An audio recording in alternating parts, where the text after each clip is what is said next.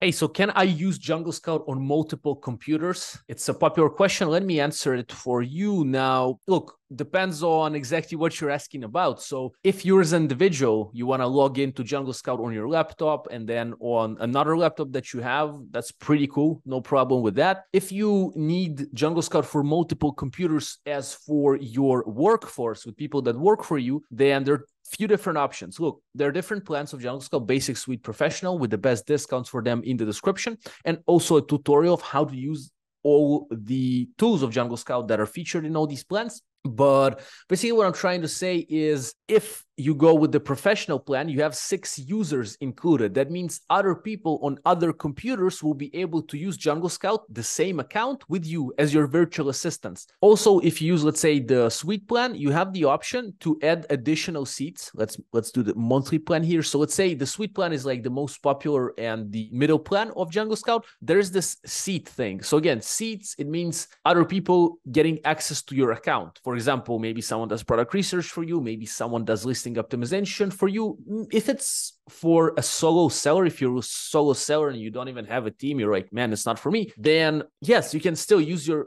Jungle Scout on different computers, and that's not a problem. But if you kind of want to have a virtual assistant join you, then you have to invite them with a seat. So another seat will cost you $49 with the monthly plan of Suite. But anyway, if you're already getting a seat and someone to help you, better use the professional because it's pretty much going to be almost the same price and it's going to give you way more and you're going to have way more users.